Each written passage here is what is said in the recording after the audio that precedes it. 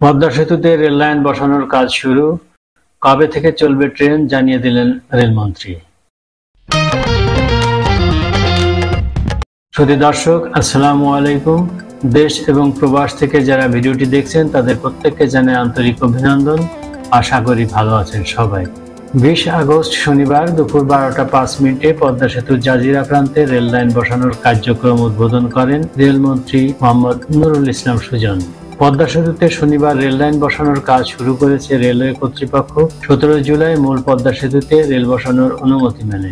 সেতুর জাজিরা প্রান্তে শনিবার কেক কেটে বেলুন উড়িয়ে আতসবাজি ফুটিয়ে লাইন বসানোর কার্যক্রম উদ্বোধন করেন রেলমন্ত্রী মোহাম্মদ নুরুল ইসলাম সুজন। ঢাকা থেকে পদ্মা সেতু হয়ে যশোর পর্যন্ত একশো বাহাত্তর কিলোমিটার নতুন রেলপথ নির্মাণ কাজ শেষ হবে দুই হাজার চব্বিশ সালের তিরিশ জুন। এ পথে ছয় থেকে আটটি যাত্রীবাহী ট্রেন পরিচালনার জন্য একশোটি অত্যাধুনিক যাত্রীবাহী কোচ ও লোকোমোটিভ কিনতে সংশ্লিষ্টদের সঙ্গে চুক্তি হয়েছে। সেতুতে রেল লাইন বসানোর শুভ উদ্বোধন শেষে রেলপথ মন্ত্রী সাংবাদিকদের বলেন, আমাদের স্বপ্ন বাস্তবায়নের পথে। পদ্মা সেতু উদ্বোধন হয়েছে। এখন আমরা দ্রুততার সঙ্গে মূল পদ্মা সেতু পুরো প্রকল্পে পুরোদমে কাজ শুরু করেছি। অতিরিক্ত জনবল, যন্ত্রাংশ ব্যবহার করা হচ্ছে প্রকল্পে। আমরা দুই হাজার চব্বিশ সালের তিরিশ জুনের মধ্যেই ঢাকা থেকে পদ্মা সেতু হয়ে যশোর পর্যন্ত নতুন রেলপথ নির্মাণ কাজ সম্পন্ন করব। এ পথে আমরা ছয় থেকে আটটি যাত্রীবাহী ট্রেন পরিচালনার জন্য একশোটি অত্যাধুনিক যাত্রীবাহী কোচ ও লোকোমোটিভ সংগ্রহ করছি। এ পথে একশো বিশ থেকে তিরিশ মাইল গতি নিয়ে ট্রেন চলবে। পুরো পথে সড়কের সঙ্গে সরাসরি লেভেল ক্রসিং থাকছে না।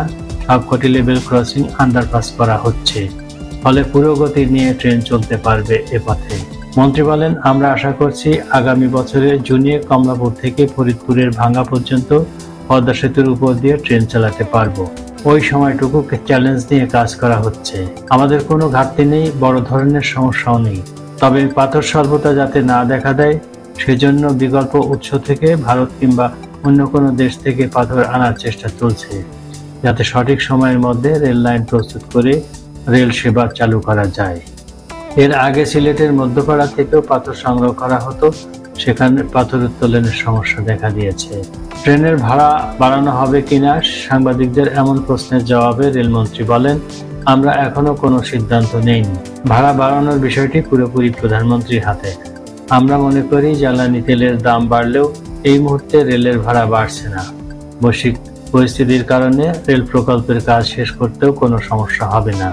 আর ঢাকা থেকে পদ্মা সেতু হয়ে যশোর পর্যন্ত রেল প্রকল্পের প্রকল্প ব্যয়ও বাড়ানোর কোনো পরিকল্পনা নেই।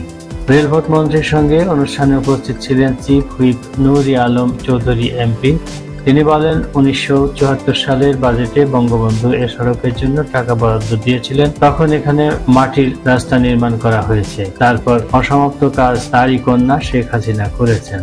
অন্যদের মধ্যে উপস্থিত ছিলেন পদ্মা সেতু ও রেল লিঙ্ক সংযোগ প্রকল্পের কনস্ট্রাকশন সুপারভিশন কনসালটেন্টের প্রধান সমন্বয়ক major general M M Zahid, রেলপথ সচিব ডক্টর হুমায়ুন কবির রেলপরে রেলওয়ে মহাপরিচালক D N Majumder, Padma rail link প্রকল্পের প্রকল্প পরিচালক মোহাম্মদ আফজাল হোসেন সহ সংশ্লিষ্ট উদ্বোধন কর্মকর্তারা উপস্থিত ছিলেন।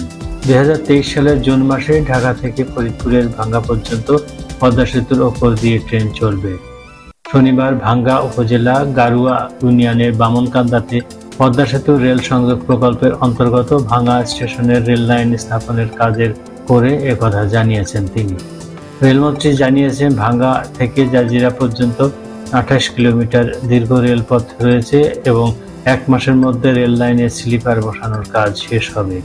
রেলমন্ত্রী বলেন, ভাঙ্গা স্টেশনকে অত্যাধুনিক মানে তৈরি করা হবে এখানে মাগুরা, গোপালগঞ্জ, ফরিদপুর রেল সংযোগের স্টেশন পয়েন্ট হবে। পদ্মা সেতু রেল সংযোগ প্রকল্পের অধীনে ঢাকা থেকে যশোর পর্যন্ত একশো বাহাত্তর কিলোমিটার রেল লাইন নির্মাণ করা হচ্ছে। ব্যয় ধরা হয়েছে উনচল্লিশ হাজার দুশো সাতচল্লিশ কোটি টাকা। শুধু দর্শক, ভিডিওটি কেমন লাগল কমেন্ট করে জানাবেন। ভালো লাগলে লাইক, কমেন্ট, শেয়ার করতে ভুলবেন না। আজ এ পর্যন্ত। আর আপনি যদি আমাদের চ্যানেলটি এখন সাবস্ক্রাইব না করে থাকেন, প্লিজ সাবস্ক্রাইব করে দিবেন। ভালো থাকবেন সুস্থ থাকবেন। আল্লাহ হাফেজ।